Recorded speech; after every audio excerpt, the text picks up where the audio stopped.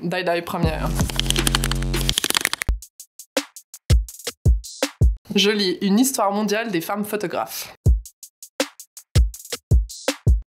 Oui, une découverte, un point de départ et la mémoire. Bah, bien sûr. Je suis là pour ça.